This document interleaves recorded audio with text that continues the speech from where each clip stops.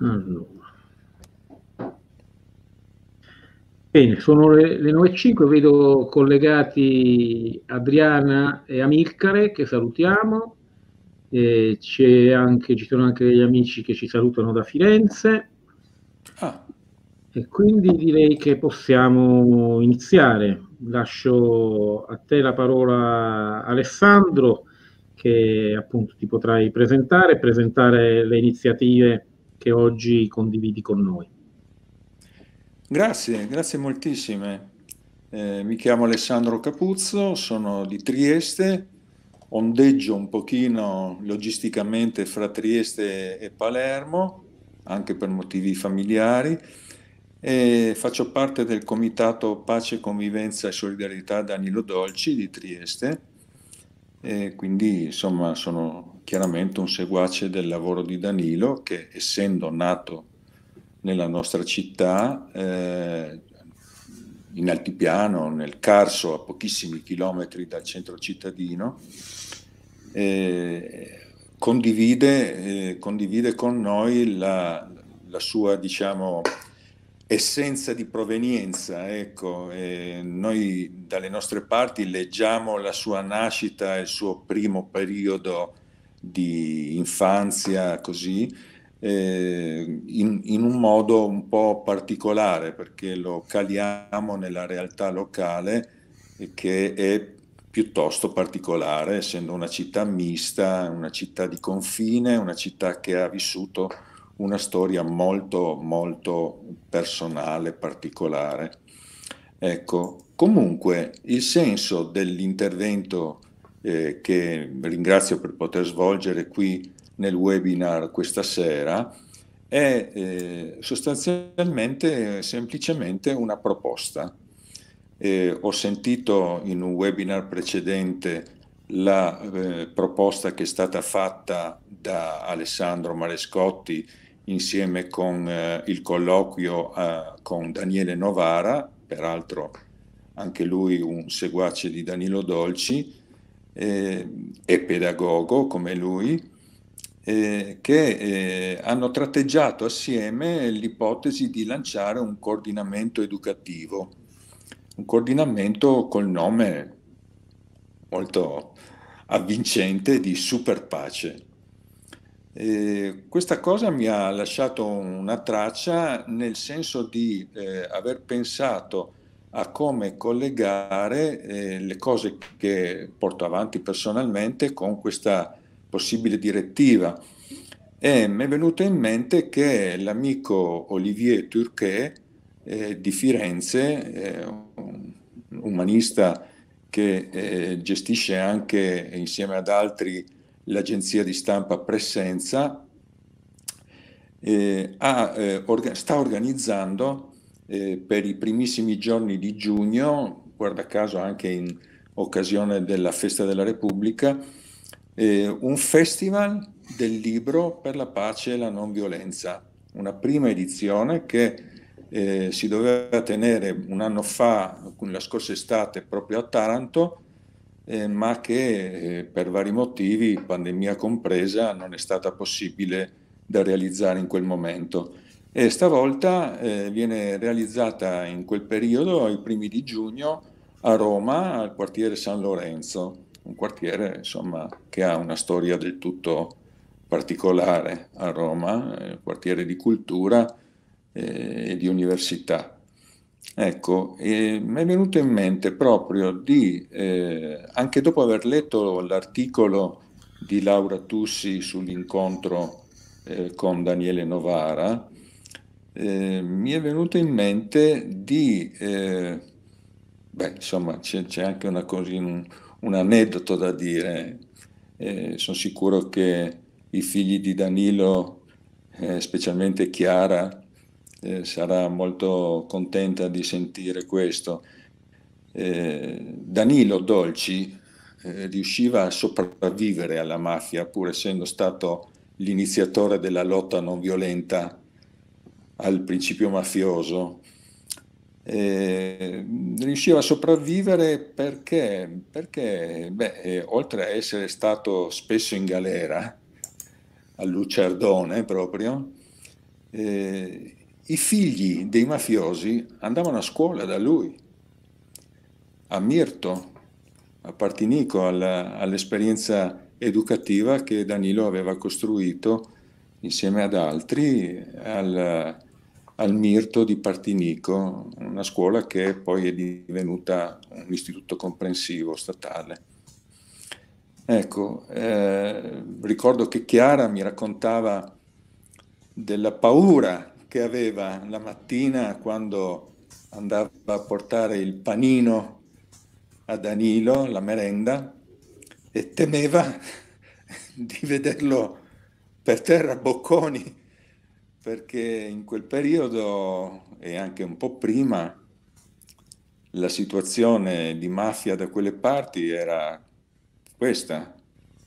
Il padre di Giuseppe Casarubea, per dirne una, è finito ammazzato, era un sindacalista, è proprio a Partinico. Giuseppe che poi ha collaborato con Danilo e ha diretto la scuola di Mirto proprio.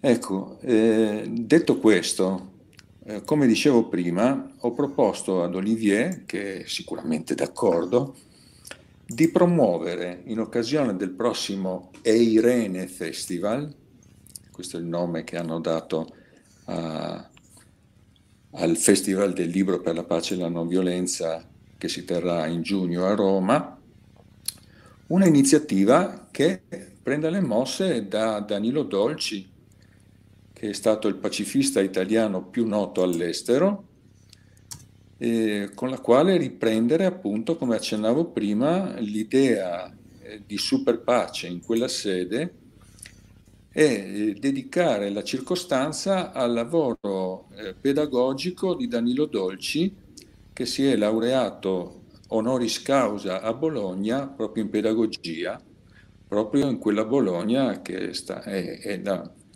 insomma, è la culla della pedagogia eh, attuale eh, ed, essendo, ed, è una cattedra nota in tutta Europa. Insomma.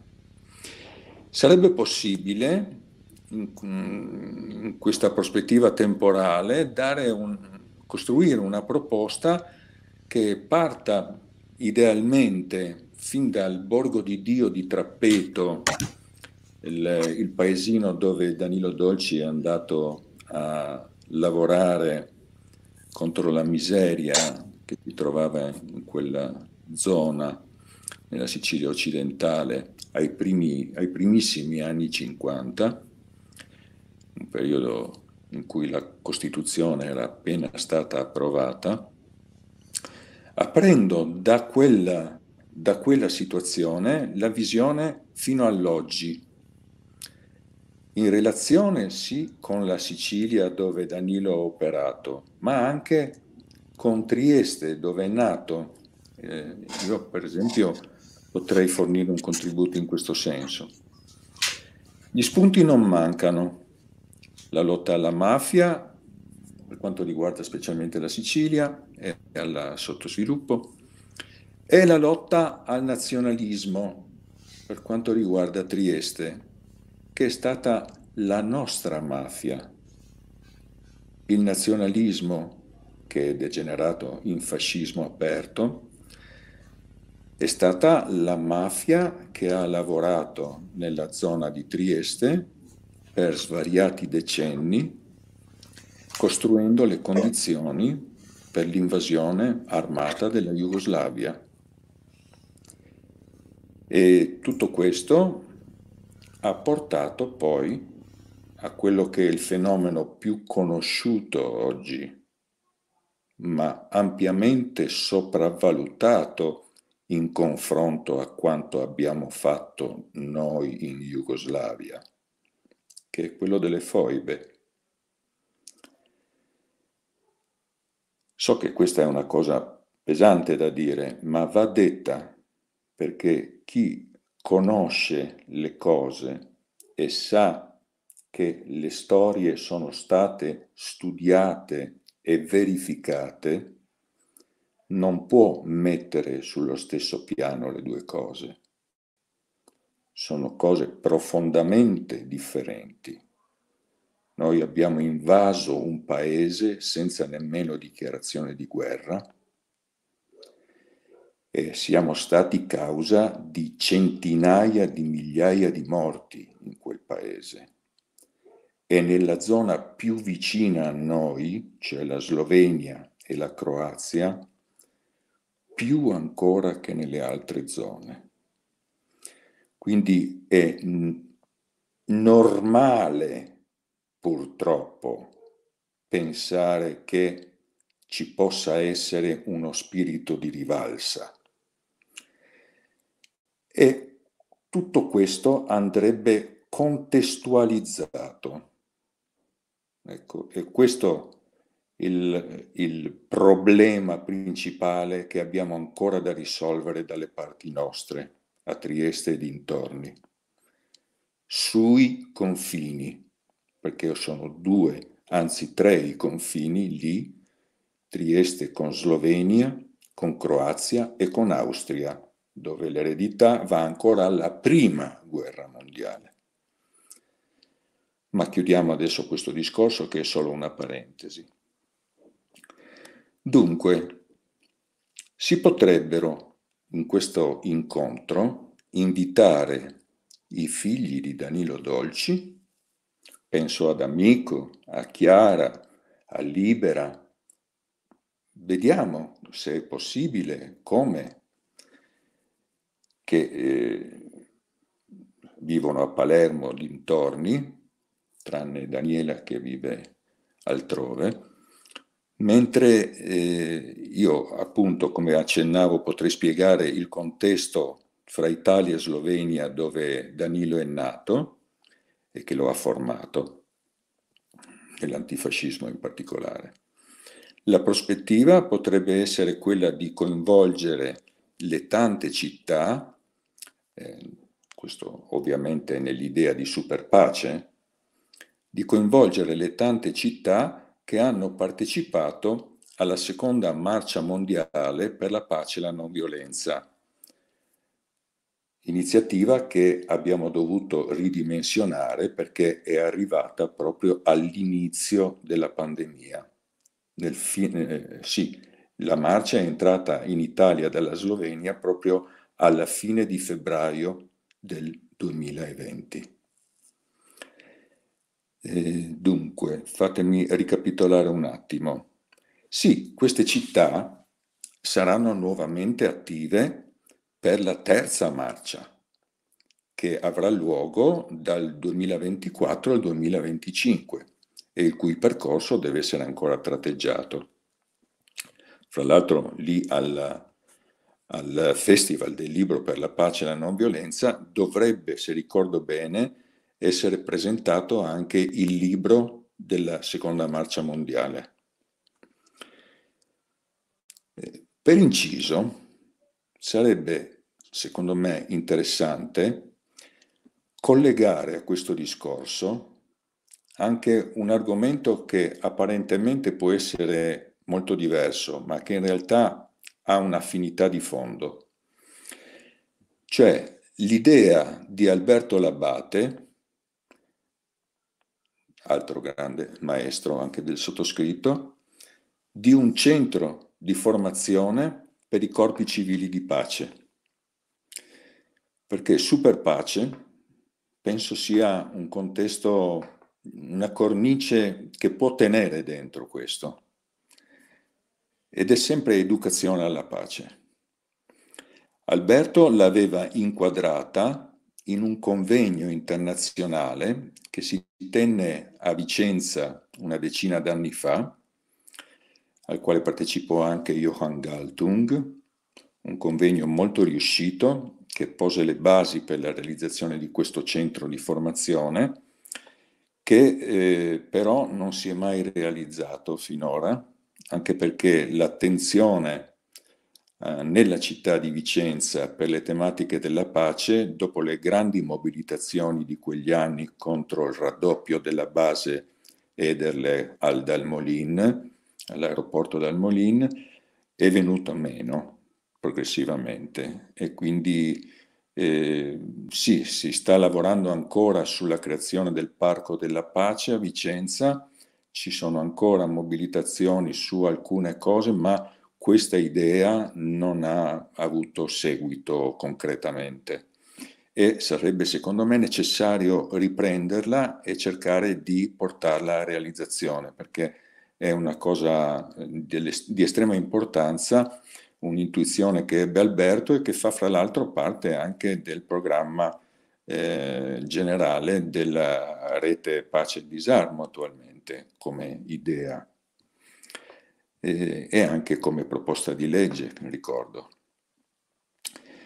E Alberto, fra l'altro, aveva collaborato con Danilo Dolci a Palermo, a Cortile Cascino, nella zona più degradata di Palermo dell'epoca, un posto veramente squallido che mh, poi è stato demolito come, come luogo fisico e, e, modernizzato, non esiste più, ma eh, si ricorda eh, e ci sono pubblicazioni su questo anche. Lavorò eh, Alberto in quel posto insieme con Goffredo Fofi. E, Alberto, fra l'altro, da Danilo eh, ha ripreso e ha maturato il concetto tipico di ricerca-azione che ha informato tutto il suo lavoro per tutta la vita. Potremmo pensare di coinvolgere Alessandra, Irene Labate, e la loro mamma, Anna Leonardi, come pure Carla Biavati, che è stata la principale collaboratrice di Alberto ed è tuttora presidente di IPRI Rete CCP, Rete Corpi Civili di Pace. Dovrebbe poter essere presente a Roma anche Silvano Caveggion di Vicenza, che è un docente ed un pacifista che ha organizzato insieme a Matteo Socio ed altre persone il convegno promosso da Alberto Labate a Vicenza e che fa parte anche del team eh, della Marcia Mondiale per la Pace. Eh, quindi eh, la proposta sarebbe fattibile, ecco, la lancio anche qui in occasione del webinar, eh, spero di eh, trovare altre persone interessate eh, fra quelle che ho nominato e fra altre ancora, la possibilità di realizzare la cosa c'è, è concreta e quindi vediamo se è possibile realizzarla. Il giorno eh, adatto sarebbe, secondo le istruzioni datemi da Olivier, eh, il, la mattina di domenica 5 giugno, eh, quando si fa nel, nell'ambito del festival la commemorazione delle persone illustri della non violenza. Ecco, mi fermo qua e vi ringrazio moltissimo per questa eh, opportunità. Alessandro, se c'è qualcuno che ti ascolta dalle tue parti e vuole entrare in contatto con te, c'è un riferimento di una posta elettronica, un sito web o qualcosa per entrare in contatto con te? Ma eh, la mia posta elettronica, senz'altro, la, la posso postare nella, nella chat? Sì, nella, nella, chat di YouTube però, se tu la metti nella chat qui, poi io la inoltro su, su YouTube. E magari perché sono aperto su Meet, quindi va, Jitsi, quindi va benissimo su Jitsi e poi io, inoltro il link. Va bene, ti ringrazio.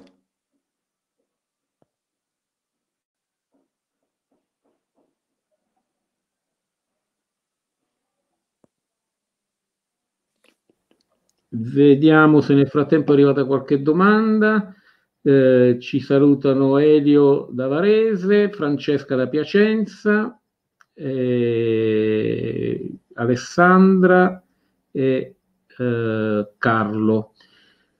Non vedo domande, quindi eh, recupero eh, dalla nostra chat però non vedo la tua email, se puoi mettere i, i tuoi riferimenti sulla chat di Jitsi. Sto scrivendo. Eccoci.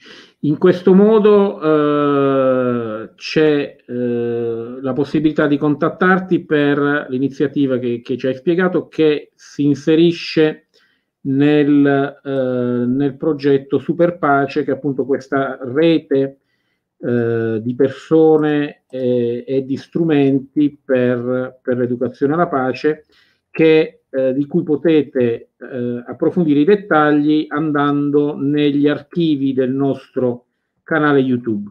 Nel frattempo eh, c'è una domanda per te Alessandro, c'è Emanuela che chiede se puoi dare alcuni dettagli sul concetto di ricerca-azione.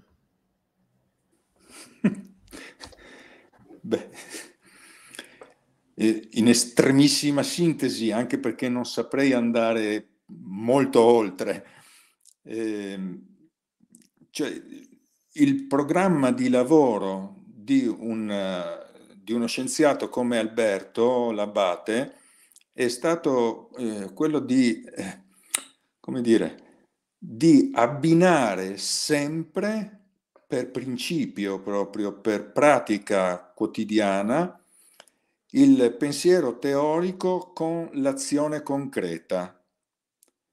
Proprio è, è un concetto di una semplicità eh, disarmante, cioè, eh, non è valido elucubrare enormi teorie, anche le più valide al mondo, se non sono collegate con la quotidianità del concreto. E allora eh, Alberto, come Danilo e come altri, eh, hanno lavorato eh, portando avanti sulla base di questo principio un continuo collegamento operativo fra teoria e pratica e l'hanno intitolato così, ricerca slash barra azione, per tenere permanentemente in contatto questi due piani. Spero di essere stato sufficiente. Benissimo. Eh, ti ringrazio molto Alessandro, e, è bello vedere che da questi webinar si stanno cominciando a creare delle reti, a tessere dei fili, perché un po' la sensazione di chi fa, ehm, di chi cerca di promuovere la cultura di pace e, e della non violenza è quella di essere isolati in mezzo al mare, mentre invece eh, in queste settimane abbiamo visto che c'è eh, un, un, movimento carsico di persone, di, di, formiche che, che, che operano eh, per, per l'educazione alla pace e, e, alla non violenza.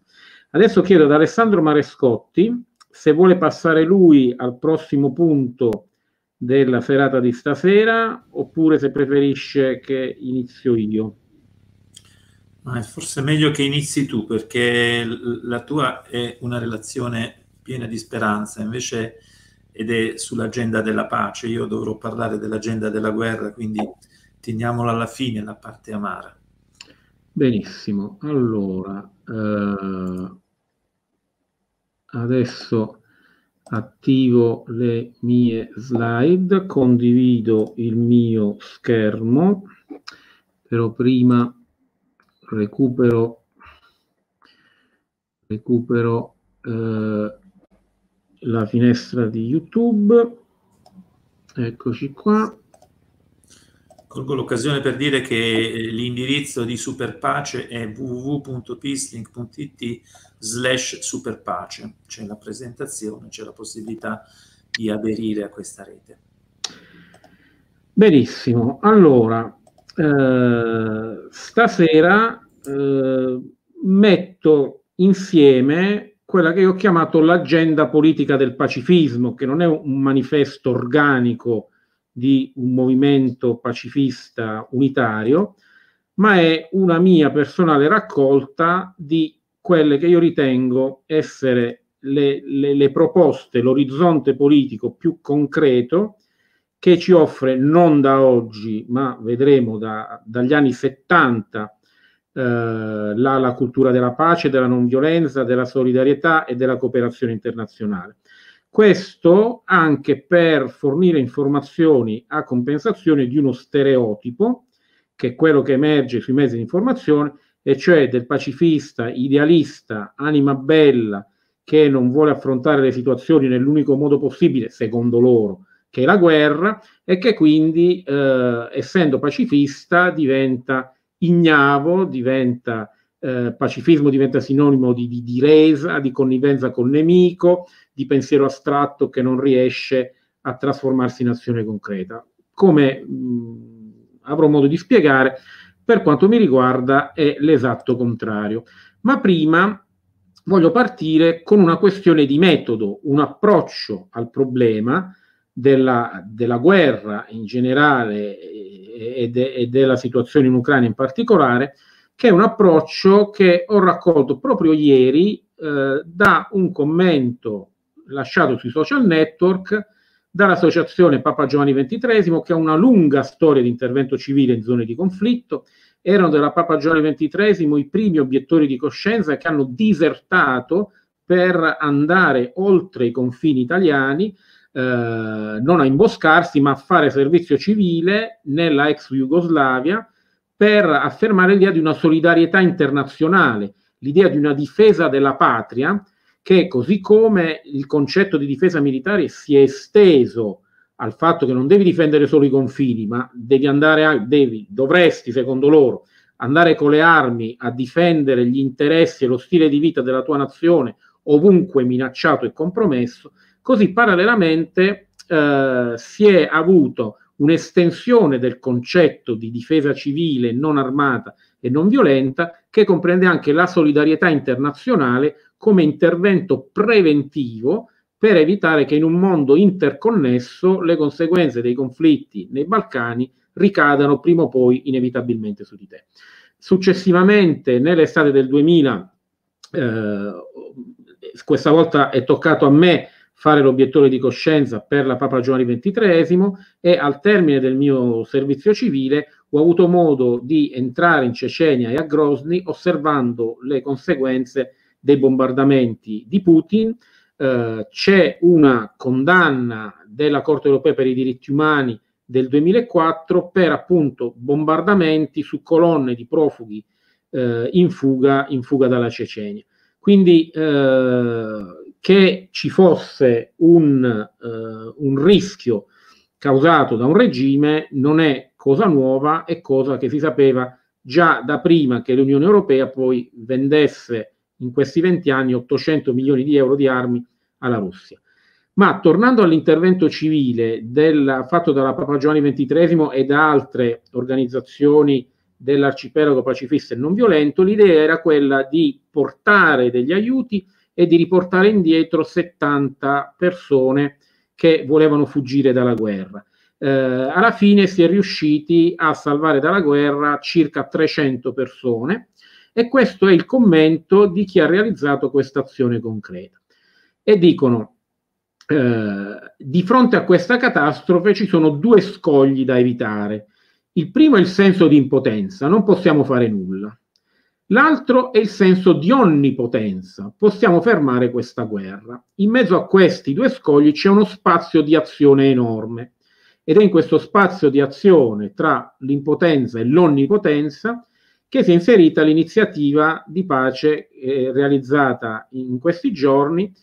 E eh, secondo la Papa Giovanni XXIII e io condivido, un'azione civile non violenta è la sola via valida per rispondere all'aggressione. Eh, anche nel principio gandiano che non puoi piantare il pero e aspettarti le mele, non puoi seminare guerra e aspettarti che arriva la pace, non puoi diffondere armi e aspettarti che arrivi sicurezza, protezione e rispetto dei diritti umani. Eh, e quindi questo apre come questione di metodo la prima grande domanda.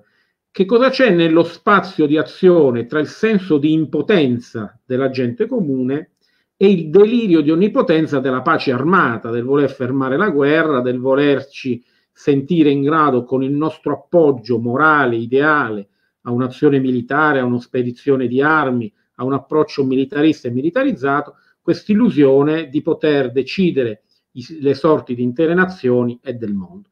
Che cosa c'è appunto tra eh, l'abbandono, lo scoraggiamento, l'ignavia è uh, il delirio di onnipotenza della, della, pace armata che ha già fallito in tanti scenari come l'Iraq, l'Afghanistan, la Libia e potremmo la Siria e potremmo, e potremmo continuare. E l'approccio metodologico è proprio quello di non, chie- di non chiederci come eh, riscrivere la mappa geopolitica dell'Europa, come sostituire un regime in Russia con una democrazia, ma eh, chiederci qual è la reale possibilità di intervento che abbiamo noi con i nostri limiti di cittadini, che ha l'Italia con i limiti di un governo eh, che è comunque inserito nel quadro di Unione Europea, quali sono i limiti dell'Europa, per scoprire che poi eh, se andiamo fino in fondo al, alle potenzialità che sono delimitate da questi limiti, si può fare tanto. E qui arriviamo al primo punto, la democratizzazione dell'ONU. Anche qui chiedere la democratizzazione dell'ONU finora è sempre stato qualcosa che è stato visto come illusorio, qualcosa che i pacifisti chiedevano per, come anime belle, qualcosa di campato in aria che non ha riscontri poi nella politica concreta. La democratizzazione dell'ONU la chiede il movimento pacifista da decenni. Un esempio eh, di queste richieste è un appello del 1992 che aveva tra i suoi firmatari Norberto Bobbio e Don Tonino Bello. Tra i vari punti di questo appello c'era la proposta di abolire nel Consiglio di sicurezza il diritto di veto. E qui poi c'è la postilla che, che inizia a far vedere quanto sia concreto e pragmatico anche l'approccio pacifista. Se proprio non si può abolire per tutto, perché ci sono le superpotenze che se lo tengono stretto questo diritto di veto, allora faccia in modo che sia abolito almeno per le materie riguardanti i diritti dell'uomo e dei popoli, a cominciare col diritto alla vita, all'esistenza e all'autodeterminazione. Qual è stato, eh, a cosa sarebbe servita questa democratizzazione dell'ONU? In queste ore, questo è un messaggio di ieri di Antonio Guterres, eh, in cui spiega concretamente dal punto di, da, un punto, da una prospettiva interna alle Nazioni Unite, quindi da una prospettiva strettamente politica, da una prospettiva tecnica di un addetto ai lavori, quindi non è la, il, il, velleitarismo di, di, di, di un'anima bella, ma è la constatazione della massima carica delle Nazioni Unite che dice Uh, I regret the divisions, mi dispiace assistere alle divisioni che hanno impedito al Consiglio di sicurezza di agire sull'Ucraina e altre minacce alla pace. Uh, quindi il segretario generale ONU, Guterres, ha stigmatizzato questo stallo che ha bloccato il Consiglio di sicurezza. Qual è la conseguenza? Se leghiamo le mani alla politica, gli unici che hanno il diritto di parola sono, restano gli eserciti, che hanno appunto carta bianca in quanto la dimensione più alta della democrazia, che è la democrazia internazionale multilaterale dell'ONU, ha le mani legate dal diritto di veto. Quindi eh, questo appello del 1992 se fosse stato eh, recepito nell'agenda politica della sedicente sinistra o nel pragmatismo dei sedicenti governi che in questi anni hanno fatto tante guerre con esiti cui voglia, con cui non si vuole mai fare i conti, se avessero dato retta a questa agenda politica del pacifismo, oggi il segretario generale dell'ONU non avrebbe dovuto eh, lamentare uno stallo nel Consiglio di sicurezza.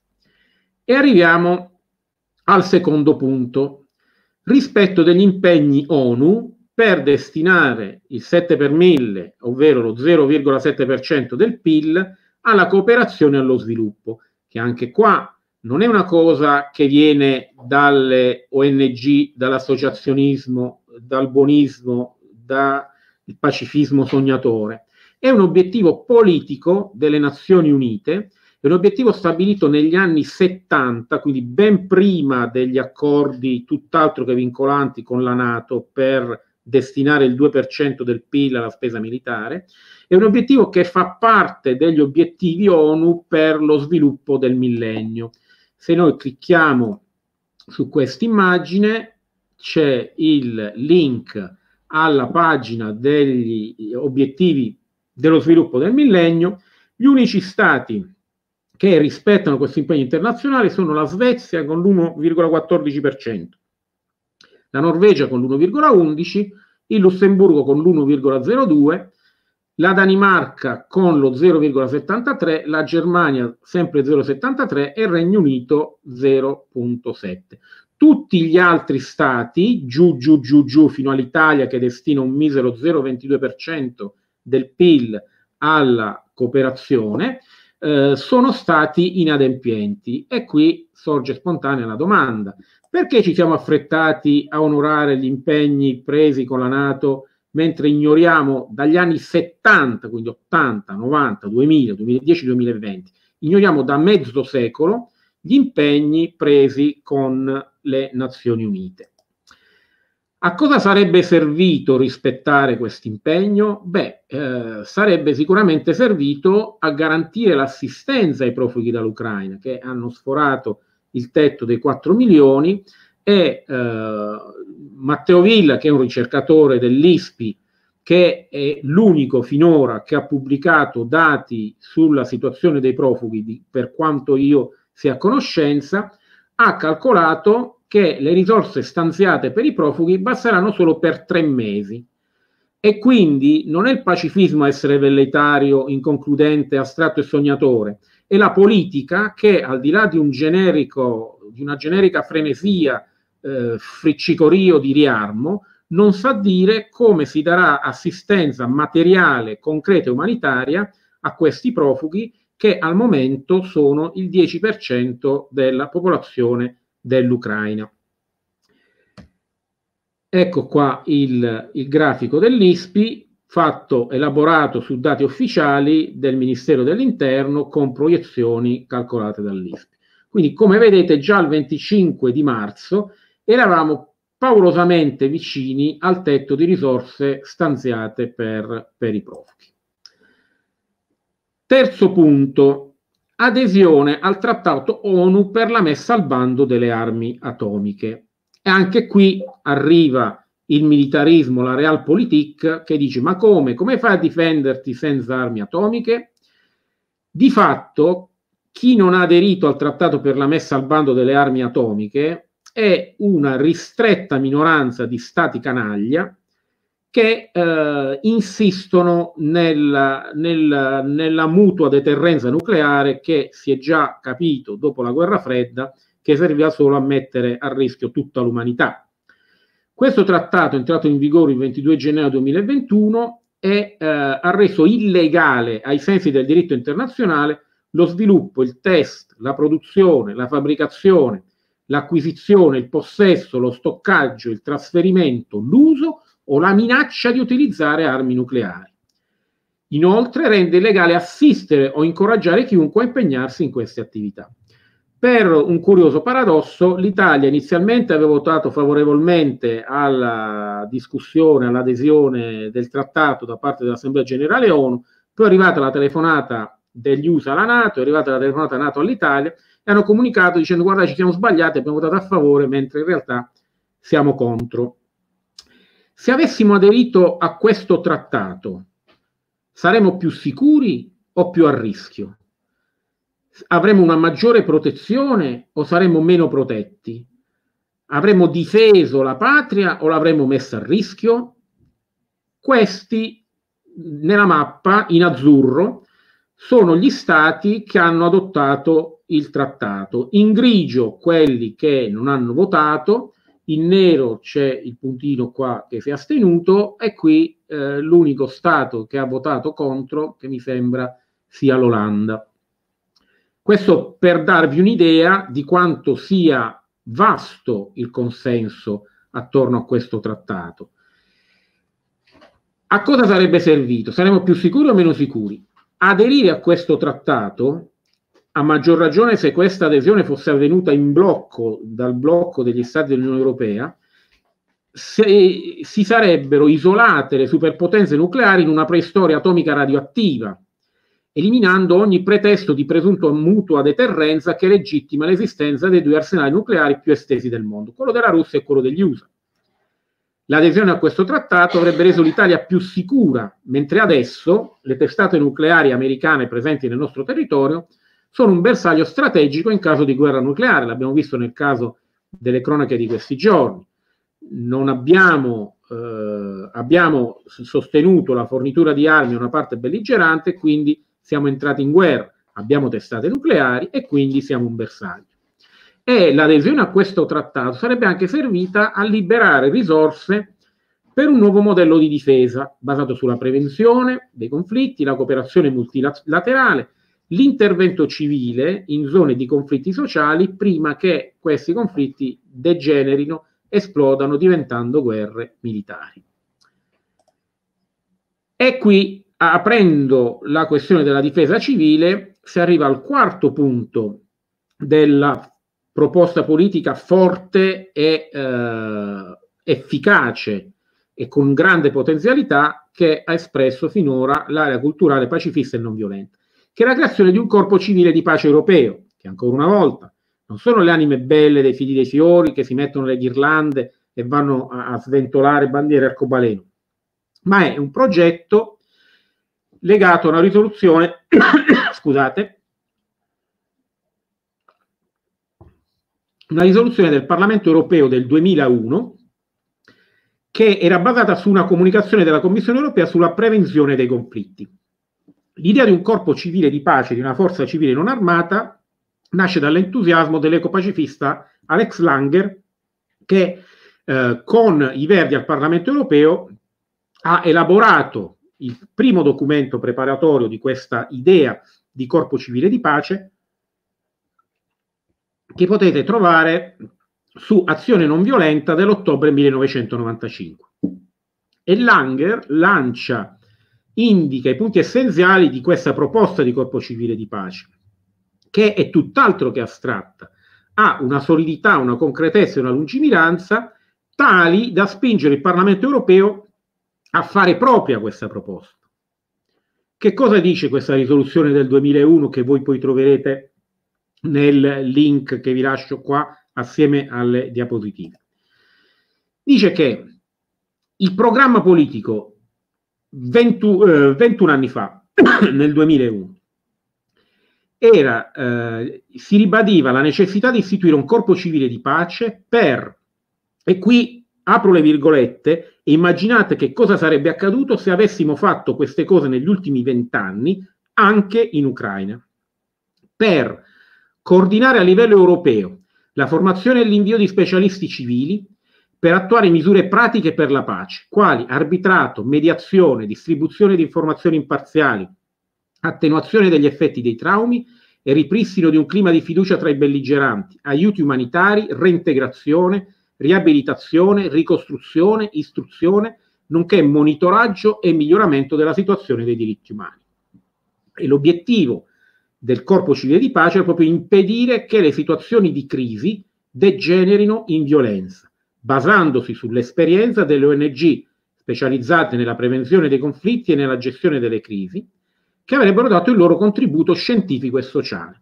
Ora immaginate un programma di intervento del genere applicato a una società lacerata come quella ucraina, una società spaccata in due, in cui una componente cercava un protettorato filo russo e un'altra cercava un protettorato filo NATO, filo UE e filo NATO, una spaccatura nel quale si è inserito il, il, la, un autocrate, Putin, che ha avuto eh, gioco facile nei, nei, nei, propri piani di imperialismo o, o gioco facile in apparenza a inserire il proprio esercito in questa frattura sociale. Immaginate se ci fosse stato un intervento civile preventivo per ricomporre questa frattura sociale, aiutare la società ucraina a emanciparsi e a trovare la propria dignità, autonomia e indipendenza al di fuori di qualunque protettorato per eh, ricomporre una frattura che è stata prima di tutto civile eh, e quindi eh, ricomponibile con un intervento civile, in prospettiva di un'Ucraina neutrale, prospera e unita.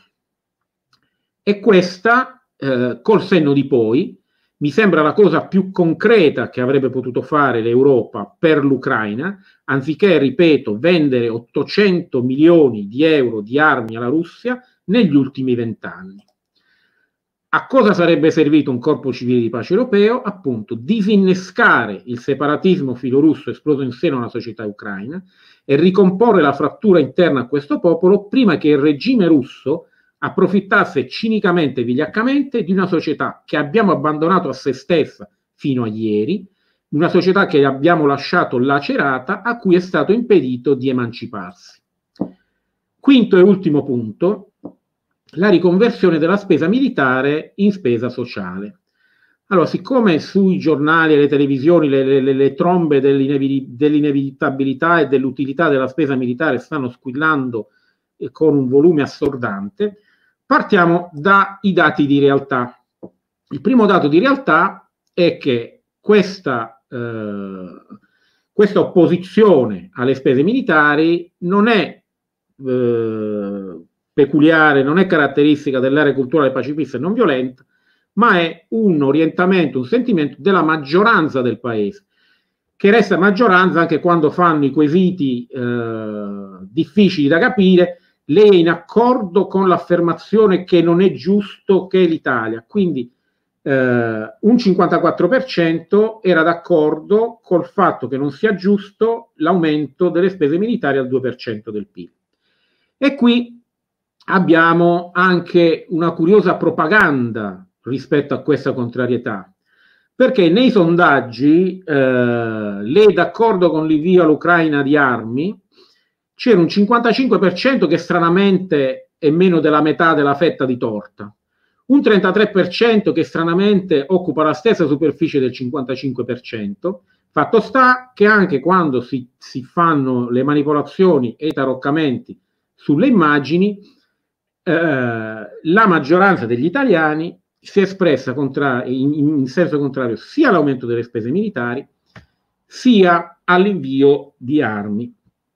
Ora, eh, quali sono i numeri effettivamente in campo? I numeri sono questi. La spesa militare della Russia è questa fettina piccola celeste da 61 miliardi di dollari il resto della spesa militare del nostro blocco NATO, la spesa di chi vuole aumentare la spesa militare perché dice che non ci sono abbastanza soldi, sono 649 miliardi degli Stati Uniti, che già da soli fanno 10 volte la Russia, e quindi siccome gli Stati Uniti sono obbligati ad aiutarci dal trattato NATO in, in caso di aggressione, sarebbe anche inutile spendere la spesa militare de, de, dell'Italia. Però si aggiunge comunque una spesa militare di altri 314 miliardi, quindi abbiamo mille miliardi di dollari contro un esercito da 61 miliardi di dollari, ammesso che ci vogliamo difendere dalla Russia con questa spesa militare, perché altrimenti non si spiega. Questi soldi li usiamo per difenderci dai marziani, da, da, dagli alieni che escono sottoterra, da non si sa bene che cosa.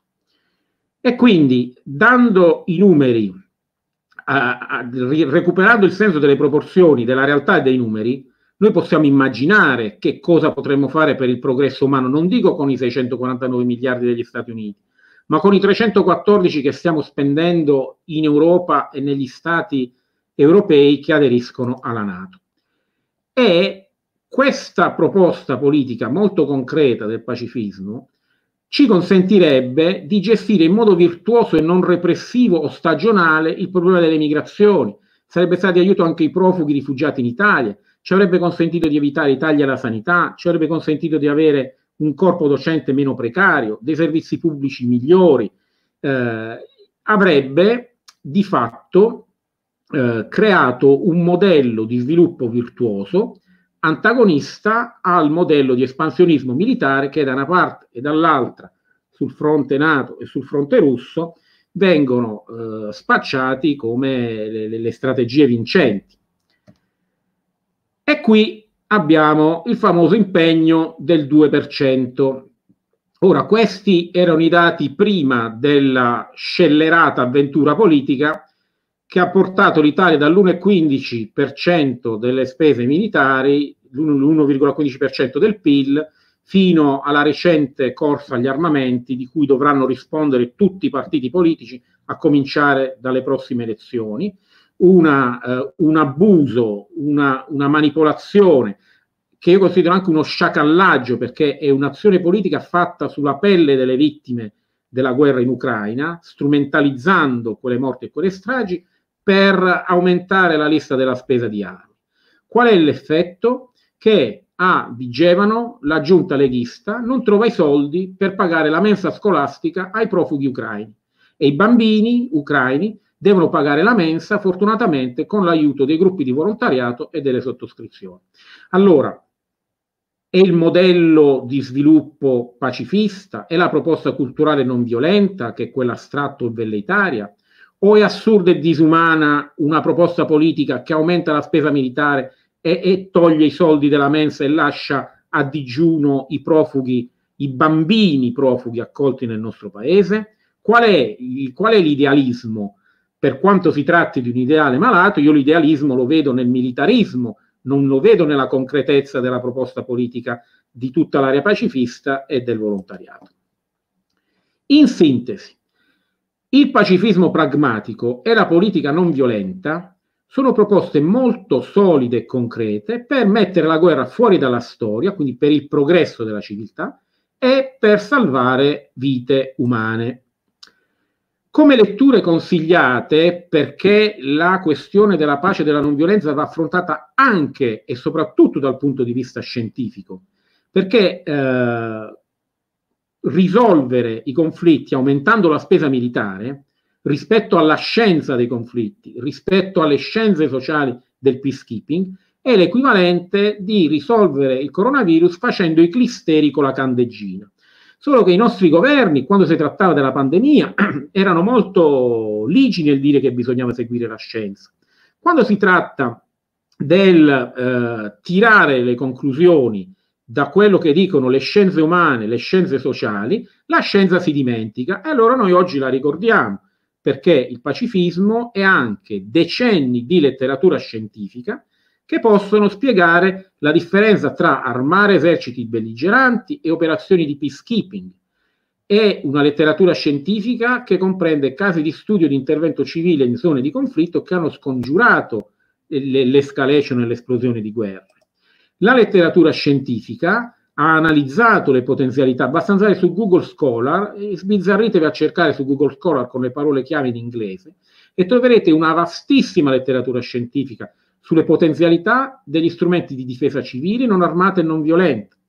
Trovate una letteratura scientifica sull'impiego di armi non letali per operazioni di interposizione in contesti bellici e questo impiego di armi non letali per interposizione avrebbe consentito all'Unione Europea di non perdere il suo ruolo politico di terzietà in questo conflitto, che invece ha scelto di perdere con una fornitura di armi che l'ha resa di fatto una parte belligerante, perché quando dai le armi a una parte che è in guerra, eh, ti, ti stai schierando in questa guerra e ne fai parte il che non ha come alternativa l'inazione, l'ignavia, la complicità con Putin, come si divertono a dire, a, a, giocare dialetticamente nei talk show ma c'è tutta una serie di alternative, tra cui l'impiego di armi non letali per operazioni di interposizione sotto l'egida dell'ONU in contesti di scontro armato.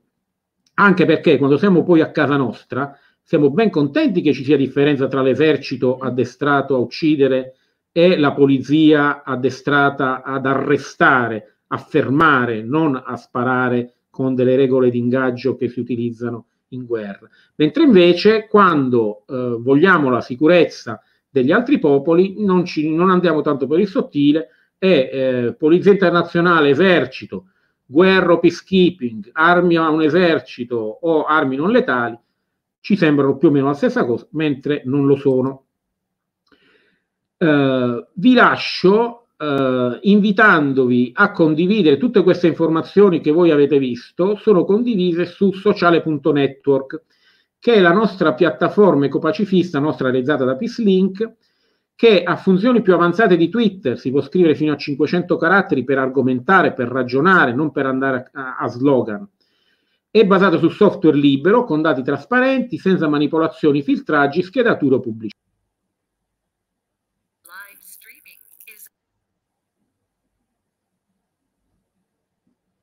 Eccoci qua. Allora, dicevo, riprendiamo lo streaming.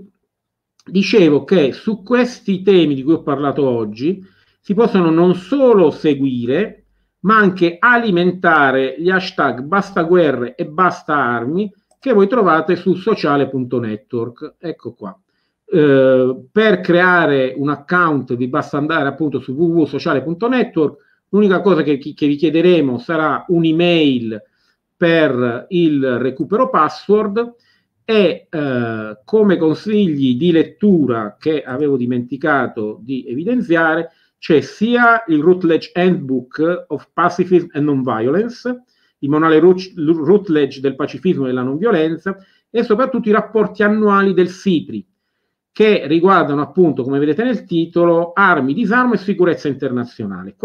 È, questa è la Bibbia per qualunque decisore politico voglia eh, esprimersi o intervenire o prendere decisioni su basi scientifiche, basandosi su dati di realtà, relativamente a questioni eh, militari, di riarmo e di spesa militare.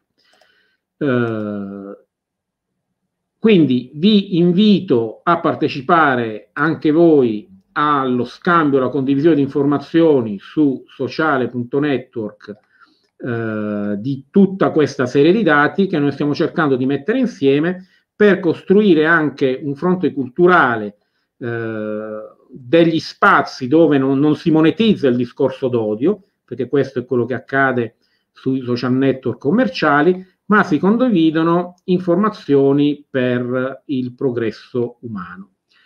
Eh, raccolgo alcune domande. Alessandra Fava chiede perché si è arenato il progetto dei corpi civili di pace europei, perché la, la, la destra italiana è, è lontana culturalmente anni luce. La sinistra italiana ed europea eh, non ha sviluppato la cultura necessaria o la volontà politica necessaria o la sensibilità necessaria per sostenere questo progetto. In pratica perché c'è stato un disinteresse rispetto alle potenzialità dell'intervento civile e umanitario in zone di conflitto. Eh, Elio Pagani dice giustamente che eh, molto di quello che vi ho dato, che vi ho detto stasera sull'intervento civile, si deve anche al professor Papisca del Centro per i diritti umani di Padova eh, e eh, non vedo altre domande. Elio giu- giustamente ci ricorda eh, la, la, la, la, Carta delle Nazioni Unite che anche lì prevede molti strumenti di arbitraggio e eh, risoluzione non armata dei conflitti, lasciando come ultima razio la, le azioni di peacekeeping, che non sono la, la, la, fornitura di armi a parti belligeranti, e quindi non vedo, non vedendo altri quesiti nella chat di YouTube, lascio la parola ad Alessandro e interrompo la condivisione.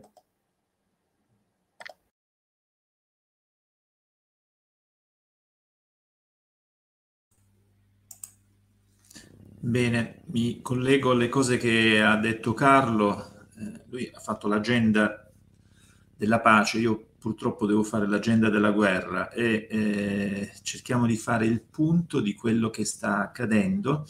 Per cui Carlo eh, l'ho divisa in sette parti questa agenda della guerra e mm, mi fermerò eh, in maniera tale che tu magari mh, mm, fai presente quelle che possono essere le domande sui singoli punti, va bene? Allora, provo a condividere e, e mi dite se si vede o no. Insieme delle slide. Si vedono le slide? Spero di sì. Sì, si vedono. Certo. Ok, bene, la voce si sente. Eh, l'agenda della guerra, dopo aver eh, ascoltato le parole di Carlo sull'agenda della pace, così a mio parere ragionevoli, eh, razionali e eh, convincenti, eh, a me tocca eh, l'ingrato compito di spiegare qual è l'agenda della guerra mh, così poco convincente, tuttavia mi limiterò a dare delle informazioni nude e crude, in particolare sul primo punto, chi sta vincendo e chi sta perdendo questa guerra, non lo dirò io, lo, lascerò dire ad esperti militari che cosa pensa l'opinione pubblica della guerra, mm, se è in atto una pericolosa escalation, se abbiamo indebolito Putin, se stiamo indebolendo il pluralismo con informazione a senso unico. Insomma, abbiamo alcune delle domande ehm, possiamo, su cui possiamo ragionare. La prima domanda, chi è che vince, chi è che perde in questa guerra? Io mi baso essenzialmente su una rivista specializzata che è Analisi Difesa, in un editoriale recentissimo Gian Andrea Gaiani eh, individua tre sconfitti, l'Ucraina, perché viene devastata e, e, probabilmente sarà divisa dal conflitto. Scusami Alessandro, siccome su YouTube si, vede un po', si vedono le slide un po' sgranate e si fa fatica a leggere, puoi interrompere e riprendere la condivisione? Sì. Provo.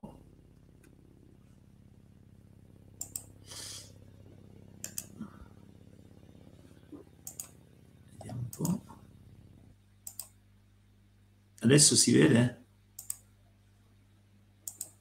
Ti dico subito. Adesso sì, perfetto. Benissimo. Okay. Eh, faccio presente che c'è un QR code eh, per cui chi vuole scaricare adesso sul momento queste slide può eh, inquadrare il QR code e scaricherà queste slide e in un certo senso potrà scaricare anche le tue Carlo perché lo, le ho agganciate le cose. Ehm, qui c'è anche il mio indirizzo di posta elettronica, come vi ho detto, sono suddivise eh, queste slide eh, in sette parti. E la prima parte è un'analisi strettamente di tipo militare, al di là delle ehm, versioni più o meno propagandistiche di una parte o dell'altra. Eh, ho cercato di basarmi essenzialmente su eh, Analisi Difesa, che è una rivista eh, militare specializzata, in un editoriale eh, vengono individuati quelli che sono i tre sconfitti, eh, almeno in questo momento, della guerra. Primo, eh, la prima nazione sconfitta è l'Ucraina, che uscirà in ogni caso devastata da, guerra, da questa guerra e con eh, pesanti condizioni di pace e anche pesanti perdite territoriali che, che ne dica Zelensky che vorrebbe mantenere l'integrità territoriale. Sicuramente la Crimea non riuscirà a riaverla e sicuramente il Donbass non riuscirà a riaverlo. Se eh, si riusciranno a mantenere i confini precedenti al conflitto sarà già un miracolo per Zelensky. Eh, la seconda sconfitta, la seconda nazione sconfitta è la Russia che eh, al di là dei possibili successi militari comunque eh, viene tagliata fuori dall'Europa e viene costretta eh, ad un uh, braccio di ferro continuo con il resto del mondo e, un, e dovrà eh, cercare un accordo con la Cina e altre nazioni eh, in un rimescolamento complessivo eh, dei rapporti che non, non, sarà utile né alla Russia né lo vedremo al resto del mondo. La terza eh, naz- non nazione, il terzo continente sconfitto è l'Europa, eh, che sarà costretta a fare i conti, eh, dice, scrive Gianandrea Gaiani, con la propria incapacità e irrilevanza geopolitica, con la pochezza della sua classe dirigente eh, e con una disastrosa disastrosa, devastante crisi economica ed energetica che è connessa a questa guerra. Chi è che invece vince, sempre secondo questa analisi di, eh, di Gaiani? Eh, a vincere sarebbe la Cina e, e soprattutto gli Stati Uniti. Mm. Guardate questa, questa statistica, questa classifica. La nazione eh, prima al mondo in questo momento per prodotto interno lordo è la, la Cina, che eh, si posiziona prima dell'Unione Europea e l'Unione Europea si posiziona eh, prima degli Stati Uniti. È molto probabile che alla fine di questa guerra gli Stati Uniti scavalcheranno l'Unione Europea e si posizioneranno al secondo posto. In conclusione, chi sta vincendo la guerra? La guerra la sta vincendo chi non la sta facendo, chi non, eh, la sta, chi non è coinvolto direttamente. Ovviamente gli Stati Uniti sono molto lontani e sono in una posizione privilegiata, un po' come è accaduto nel primo conflitto mondiale, in un certo senso anche nel secondo. Come ho detto prima, ci sono delle similitudini con altre guerre, in particolare con la prima guerra mondiale.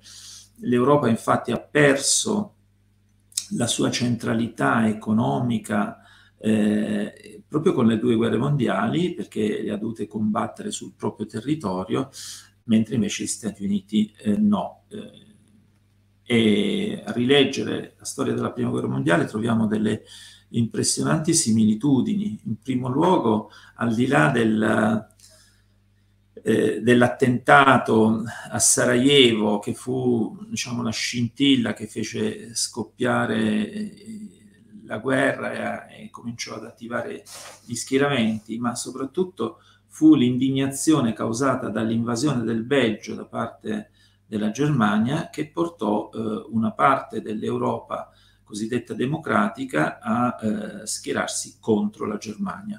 L'invasione del Belgio eh, viene ricordata anche come stupro del Belgio. Eh, le cose che furono fatte in Belgio anche nei confronti della popolazione civile da parte eh,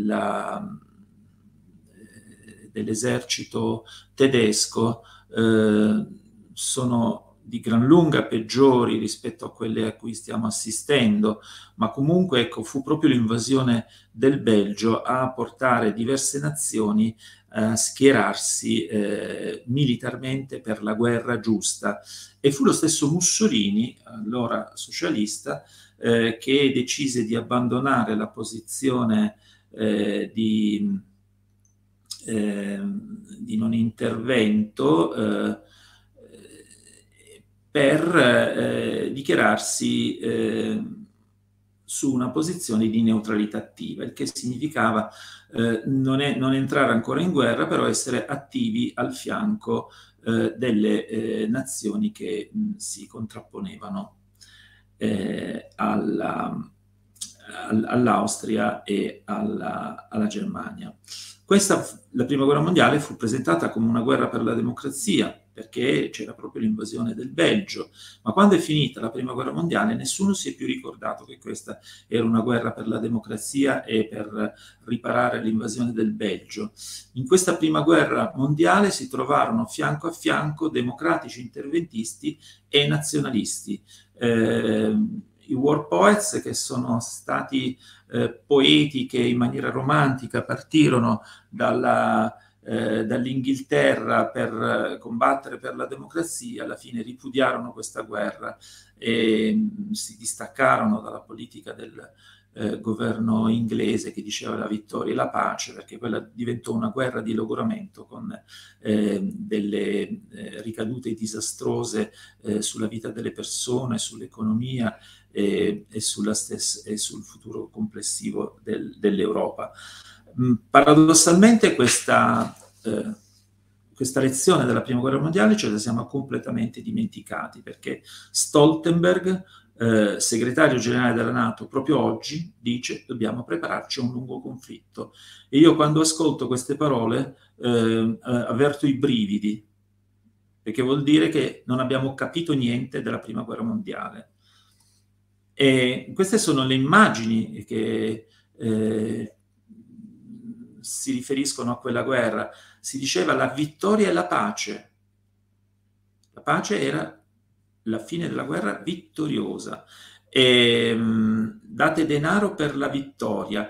Zelensky il 25 marzo 2022 eh, dichiara ci stiamo avvicinando alla pace, ci stiamo avvicinando alla vittoria eh, questa guerra non può essere senza vittoria, così sarà. Sono eh, frasi che ricalcano esattamente la propaganda della Prima Guerra Mondiale. Ci sono domande o posso passare alla seconda parte? Eh, passo alla seconda parte. Che allora, cosa... Non sì. vedo domande su YouTube, quindi puoi proseguire, Sandro. Mm. Qui mi ricollego a cose che hai detto anche tu.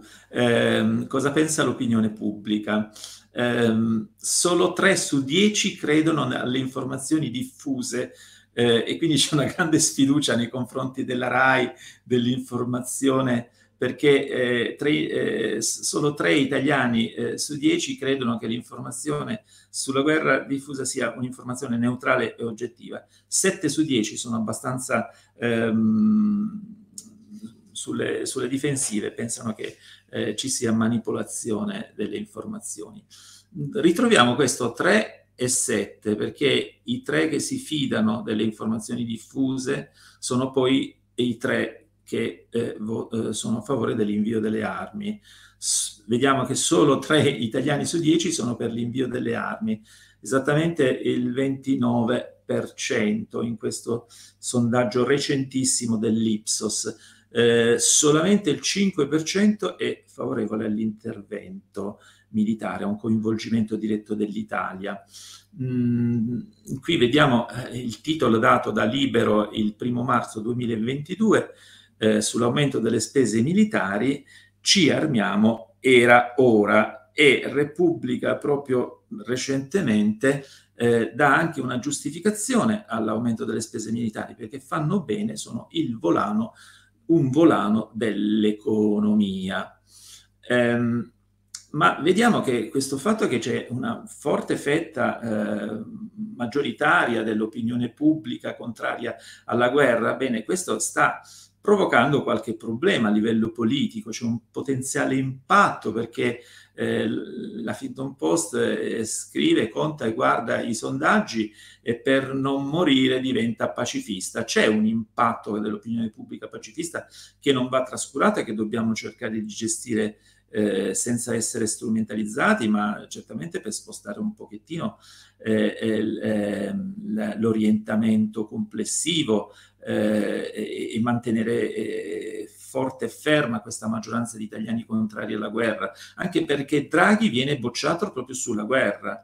Eh, la maggioranza degli italiani, il 54%, è del tutto insoddisfatto per il modo con cui il Premier si è mosso in merito alla guerra. Non solo, ma Conte, registro semplicemente quello che ci dicono i sondaggi di opinione, proprio cavalcando eh, questo mh, spirito pacifista del mh, popolo italiano che in questo momento non vuole imbarcarsi in avventure belliche, eh, addirittura scavalca Letta, Salvini e Meloni e si classifica come primo leader eh, politico, proprio lui che era in, in, forte crisi per tutti i problemi che, che sappiamo, eh, le liti all'interno del Movimento 5 Stelle e così via. Mm, qui troviamo Quotidiano Nazionale che eh, proprio recentemente titola Gli italiani contro l'invio delle armi, bocciati, bocciato Draghi e filo americano.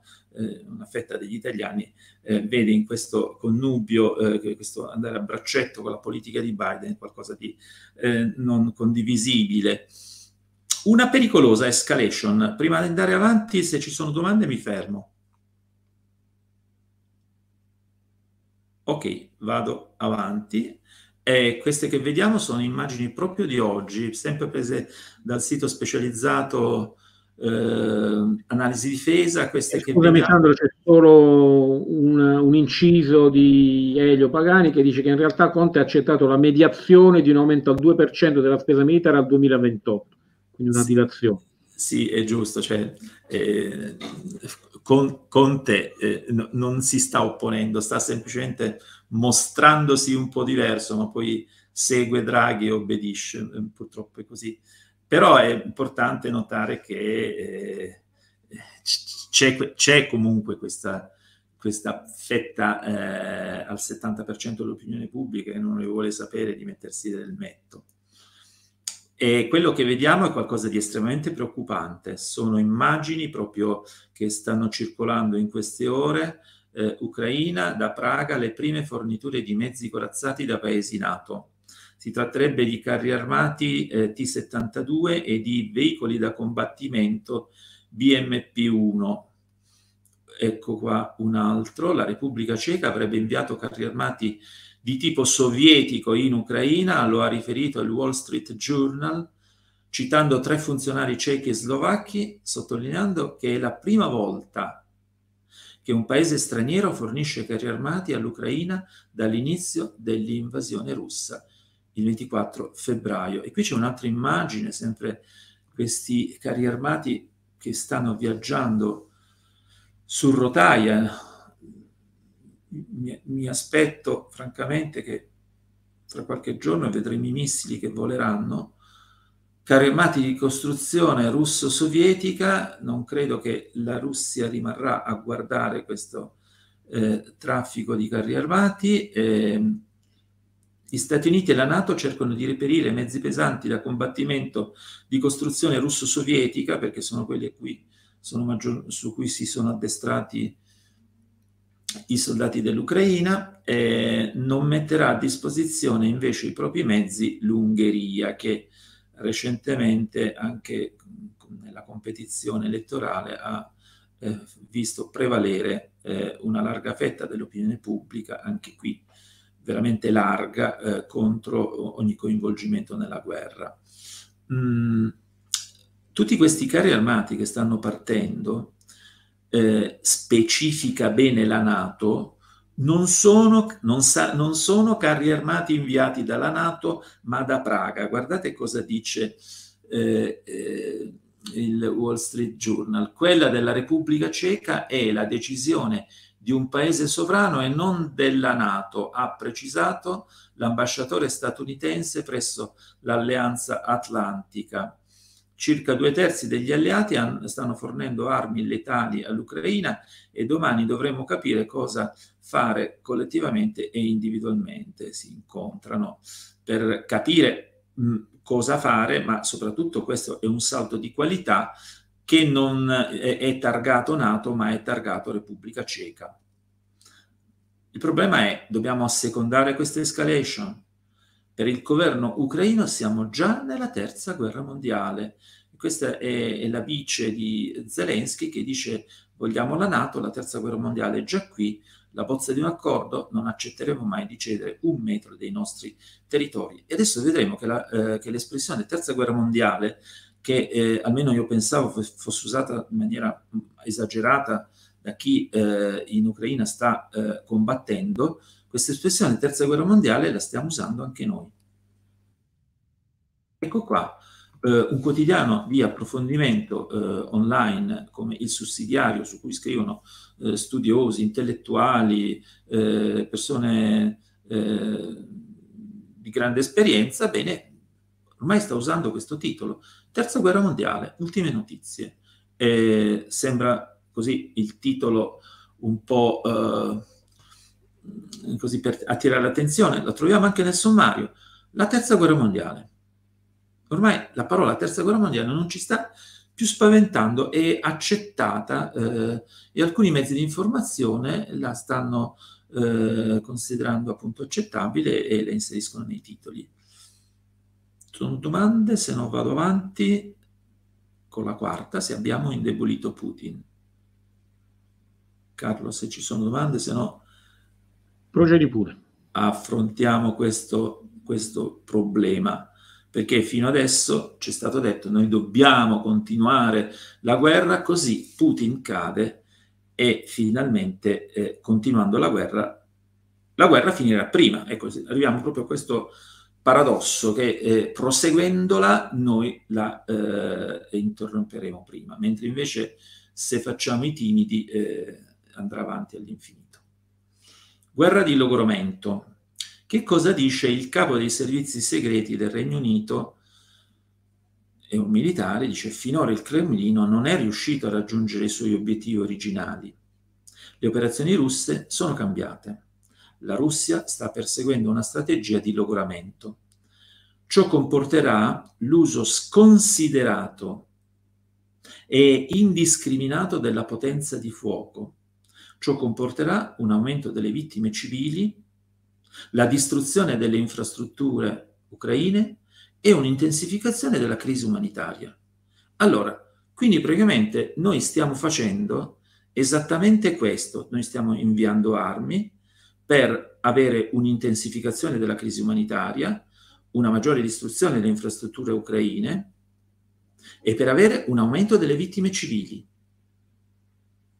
Se questa è la previsione che fa un eh, alto ufficiale dei servizi segreti del Regno Unito, noi stiamo facendo l'esatto contrario di quello che farebbe una persona ragionevole che avesse a cuore eh, la vita eh, dei civili e in generale la sorte dell'Ucraina. E adesso vediamo il rublo, dice va bene, però stiamo continuando la guerra perché in questa maniera facciamo crollare l'economia eh, della Russia, perché vedete il rublo, il tonfo del rublo con la guerra in Ucraina, vedete proprio arri- eh, subito dopo eh, l'invasione, ecco che il rublo crolla. Guardate cosa succede adesso. Sta risalendo. E queste sono proprio le rilevazioni che ho preso poco fa eh, qualche ora fa sono quelle del 6 aprile 2022, cioè oggi, e sta risalendo alla grande il rublo. E la cosa viene confermata anche dal, dal, scusate, dal, mm, dal quotidiano La Stampa. Non solo il rublo sale, ma sale nei sondaggi anche Putin. Il sondaggio eh, compiuto da eh, sondaggisti indipendenti ehm, che sono considerati una spina nel fianco proprio per la loro indipendenza. Levinson non è certamente un sostenitore di Putin. Gli, gli istituti che, che, che fanno ehm, sondaggi indipendenti ci dicono tutti che Putin sta salendo nei sondaggi. Questo è il più recente. 83% dei russi sostiene Putin. E non solo, Levinson dice, attenzione, che di questo passo il consenso di Putin crescerà ancora. E gli chiedono, ma perché? Secondo Levinson il consenso per Putin crescerà ancora perché ci sono gli indicatori. Dice, come faccio a dirlo? Un esempio, quando ci sono pressioni governative sulle opinioni, come oggi in Russia, tendono ad aumentare le risposte del tipo non so, non risponde, eh, che in genere sono degli indicatori di paura, ma in questo caso no. Molte persone sembrano aver aderito convintamente alla versione diffusa dalla propaganda russa e non è che dicono non lo so, ma rispondono orgogliose a favore dell'operazione militare. Uno può essere favorevole, contrario, si, sono stati rimbecilliti, sono stati rimbambiti dalla propaganda, ma questo è ciò che sta emergendo. Cosa vuole Putin dall'Ucraina? Eh, vi invito a mm, vedere questo eh, filmato e un video che mette al centro le tre grosse questioni, quella della neutralità, del Donbass e della Crimea. È fatto molto bene, da, eh, è stato fatto da fanpage, l'ho fatto eh, vedere i miei studenti e, ed è, è istruttivo mh, mm, perché eh, mentre si sa che cosa vuole Putin, che cosa voglia Zelensky, non lo abbiamo ancora capito. E questa è la situazione sul campo, come vediamo ehm, la, la, Crimea che era in mano alla, alla Russia eh, ha esteso la propria influenza a nord e quindi abbiamo un'area ancora più ampia a nord per cui eh, Zelensky dovrà fare i conti con il fatto che ha perso territori, come pure, come pure eh, per quanto riguarda eh, il Donbass qui ad est, eh, c'è eh, un'offensiva da Kharkiv che eh, punta ad estendere il controllo su un'area del Donbass ehm, che prima non era controllata dai filorussi. Eh, la pressione su Kiev sembra più che altro una pressione per tenere eh, impegnata una parte dell'esercito che sta a difesa di Kiev, perché eh, l'esercito eh, ucraino dal punto di vista numerico eh, è superiore rispetto in, in, termini proprio numerici di forze, ma non di tecnologia al, all'esercito eh, russo. L'esercito russo sta cercando, soprattutto qui ad est, di accerchiare eh, una notevole quantità di soldati che gli, eh, gli ucraini hanno eh, eh, lì che sono trincerati per evitare uno sfondamento delle linee del Donbass. La domanda è allora, abbiamo, le domande sono, abbiamo allora indebolito Putin oppure stiamo indebolendo l'Europa con questa guerra? Eh, il gas russo eh, che eh, dovremmo sostituire eh, così nella mente di alcuni che stanno dicendo adesso dobbiamo, ad esempio Letta dice dobbiamo sostituire il gas russo, andiamo a fare i conti. Il gas russo può essere sostituito solamente per un decimo dal gas naturale liquefatto e occorrono rigassificatori che non ci sono. La prospettiva di sostituzione del gas russo è quella di un ritorno al carbone. Questo significa mettere da parte la strategia della decarbonizzazione, la cancellazione dell'agenda ONU 2030 per lo sviluppo sostenibile. Non solo, ma c'è il rischio che la Cina a questo punto incominci a comprare gas russo con lo sconto del 10%, perché questo sta già avvenendo e sta avvenendo in parte ancora eh, ridotta perché eh, ci sono tutta una serie di problemi di gasdotti, ma eh, nel caso in cui eh, entrasse, eh, venisse costruito eh, una, un nuovo collegamento, un nuovo gasdotto tra la Cina e, e la Russia e lo stanno costruendo, eh, il nostro boicottaggio del gas russo significherebbe semplicemente che la Cina si prende il gas dell'Europa. La guerra in questo momento costa all'Italia 41 miliardi, Confindustria lancia l'allarme, siamo in recessione tecnica, crisi terribile e Biden sta, sta guadagnando da questa guerra. Probabilmente la, la, l'economia americana sta guadagnando notevolmente perché ehm, i, i, profitti salgono, ma dal punto di vista del benessere popolare la, la gente non ha per niente eh, voglia di mettersi l'elmetto, tant'è vero che sette americani su dieci non si fidano della conduzione eh, di Biden eh, di questa guerra, hanno paura della guerra nucleare e quindi troviamo anche qui questi 7 su 10 che non sono eh, favorevoli alla guerra. La, il quadro complessivo che emerge insomma, è quello che avete, eh, avete potuto vedere, per cui eh, tutta questa propaganda a favore della guerra sta indebolendo chi? E soprattutto, non è per caso che stiamo indebolendo il pluralismo? Eh, mi fermo un attimo qui se ci sono delle domande. No, vedo, vedo, solamente un contributo di Alessandra riguardo alla questione del, dello sdoganamento della terza guerra mondiale e dice che già nella seconda settimana Gentilone ha iniziato a parlare di economia di guerra, in qualche modo si fanno percolare parole che poi diventano concetti accettati e quindi c'è una normalizzazione di, questi, di, di, questa, di questo stato di emergenza. Um io qui eh, ho messo un, uno scambio veramente duro di accuse eh, di Federico Rampini, eh, che dovrebbe costituire diciamo, l'ala progressista degli intellettuali nei confronti eh, di Marco Tarquinio, che è il direttore dell'Aquivenire, che è il quotidiano dei vescovi, eh, Rampini accusa praticamente Marco Tarquinio di essere morbido nei confronti di Putin. Che cosa faceva Marco Tarquinio? Stava criticando le sanzioni imposte alla Russia perché queste sanzioni in un modo o nell'altro, in maniera indiretta, hanno un impatto eh, notevolissimo sull'Africa e lo so io per esperienza diretta, perché abbiamo dei contatti con il missionario eh, Chizito, padre Chizito, in Africa eh, si sta riversando un aumento dei prezzi degli alimenti impressionante. Il fatto che Marco Tarquinio dica eh, questa cosa qui, bene, viene attaccato da Federico Rampini eh, che lo accusa mm, pesantemente e se seguite questo eh, spezzone su YouTube eh, Marco Tarquinio gli eh, risponde per le rime. Stiamo assistendo ad attacchi veramente incredibili, per cui viene considerato in un certo senso filo russo anche il direttore di Avvenire.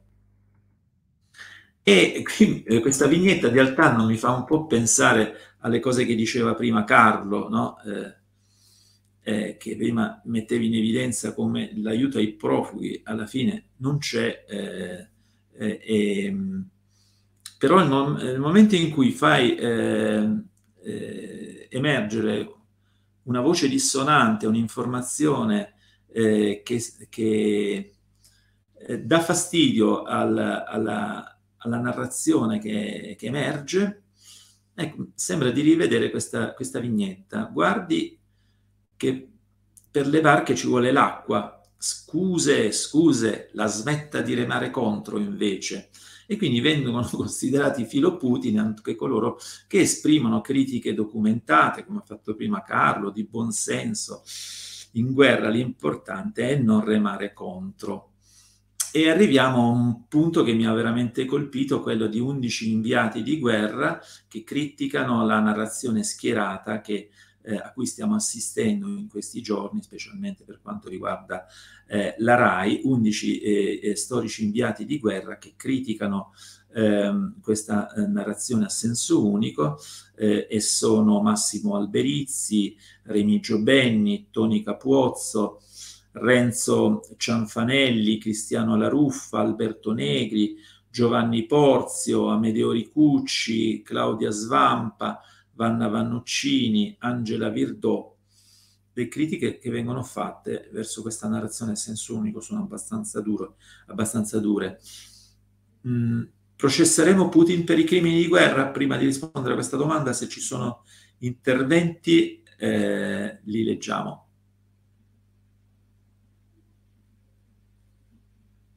Puoi proseguire, Sandro.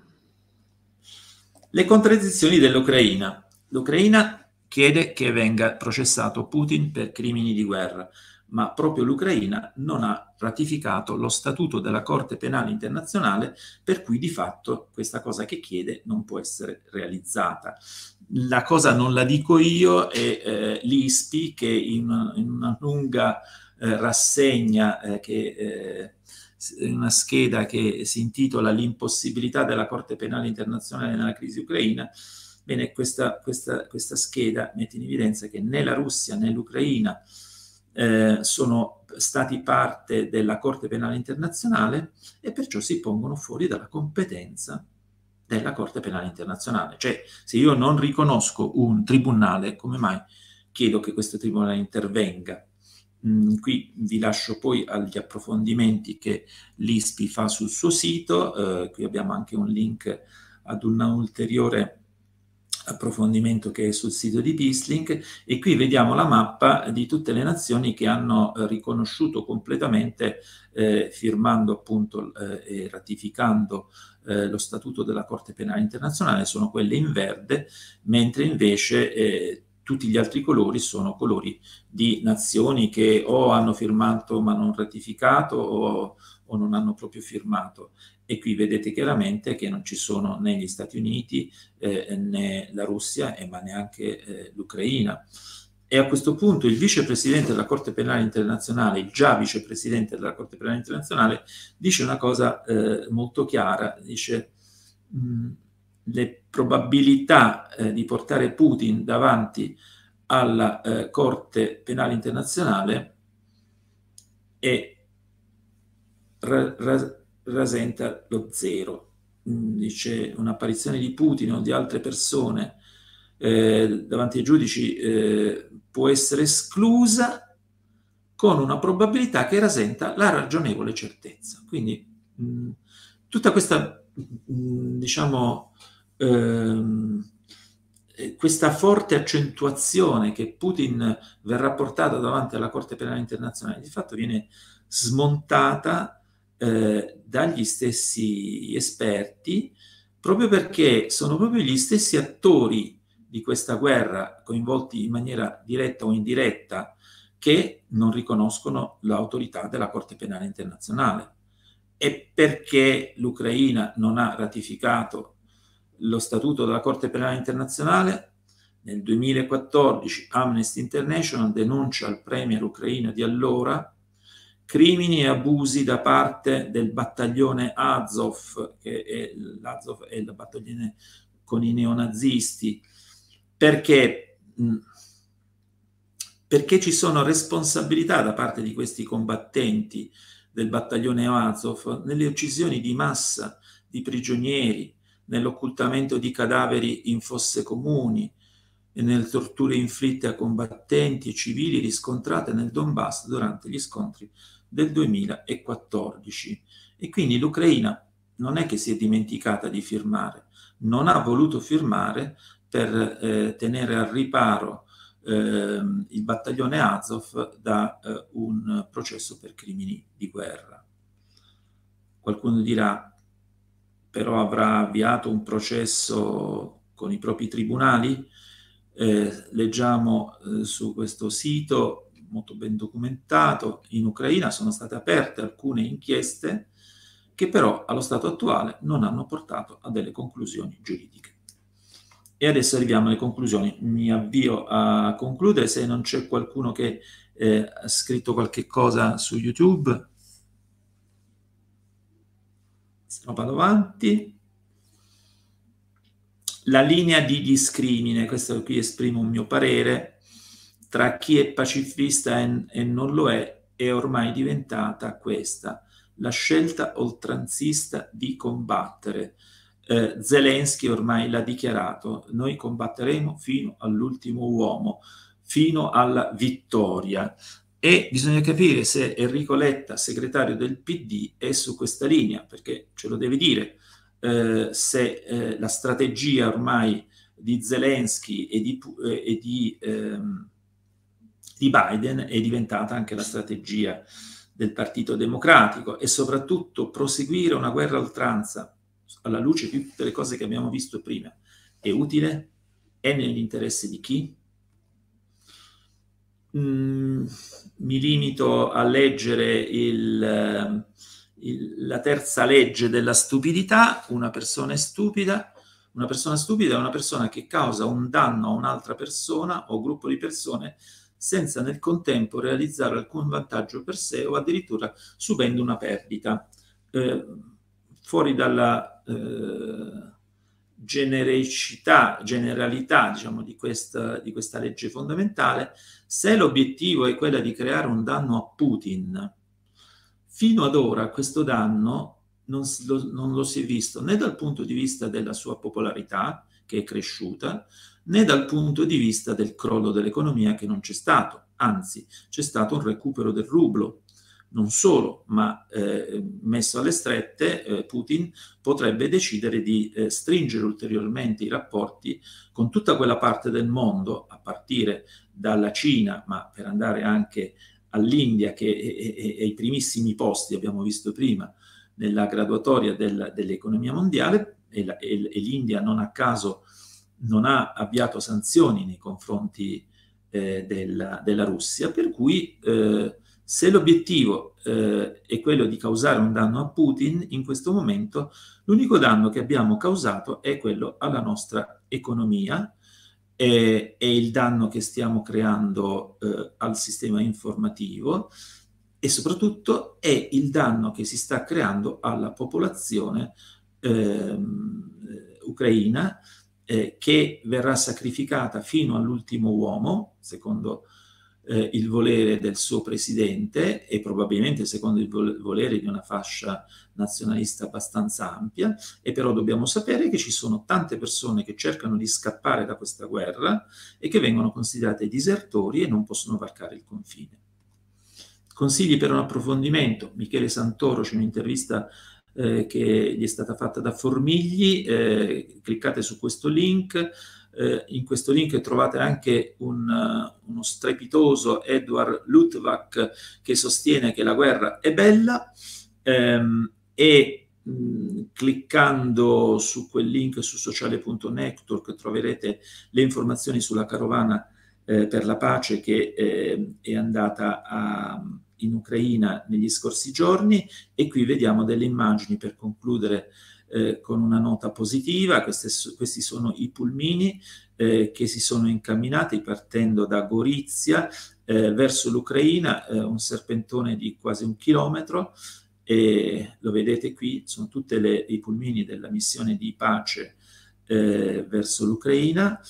Quando sono arrivati hanno scaricato i medicinali e ehm, alimenti, aiuti di vario tipo, anche carburante perché lì ormai non ce n'è più. E, ehm, e poi dopo sono partiti, hanno fatto eh, un corteo nel centro di Leopoli, eccoli qui, e poi al ritorno, eh, visto che i pulmini erano stati svuotati, non c'erano più gli alimenti che erano stati scaricati presso la Caritas e nei pulmini sono stati caricati eh, alcuni, alcune, alcune, persone che erano fragili, che erano sulle carrozzelle. E, vi ringrazio per l'attenzione, eh, qui potete scaricare, eh, se inquadrate questo QR code, anche le slide di Carlo eh, che avete visto prima e vi ringrazio per l'attenzione, mi scuso se sono stato un po' più lungo del solito. Benissimo, allora non vedo altre domande, altri interventi. Ora si tratta di capire come bilanciare le decine di persone con cui abbiamo provato a ragionare stasera con i milioni di persone immersi in un altro tipo di racconto, in un altro tipo di narrazione e a cui si chiede appunto uno, uno schieramento eh, tra eh, appunto a favore del, di, di, una delle parti belligeranti, mentre invece il principio di non violenza è di schierarsi vicino ai popoli eh, contro gli eserciti che ne mettono a rischio la vita e eh, sostenere l'intervento civile in opposizione alle aggressioni militari e al riarmo. Se non ci sono altre, eh, altri contributi, direi che possiamo augurare la buonanotte a tutte le persone che si sono collegate con noi stasera. Ricordatevi il passaparola, ci si vede mercoledì prossimo, c'è questo presidio culturale che noi stiamo cercando di tenere con i nostri incontri del mercoledì, passate parola con i vostri contatti.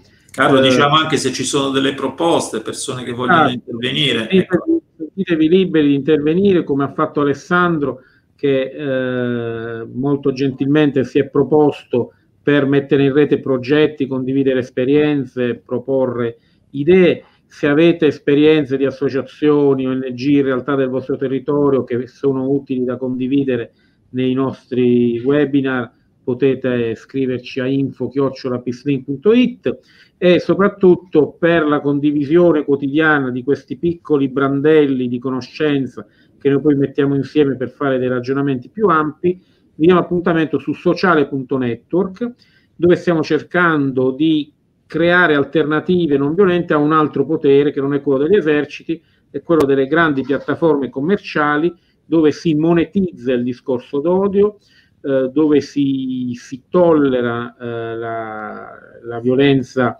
verbale che ha sempre un eco anche nel, nel mondo fisico e nella, nella violenza reale. Quindi passate parola anche sull'esistenza di www.sociale.network dove stiamo creando una comunità ecopacifista di progresso culturale e non eh, alternativa alle aziende che fanno profitti con i contenuti generati dagli utenti. Buonanotte a tutti e buona resistenza culturale a tutti. Fermiamo. Grazie, arrivederci. Grazie. No. E allora il, eh, il link per fermare lo streaming, eccolo qua. Quante persone c'erano? Eh, qualche decina.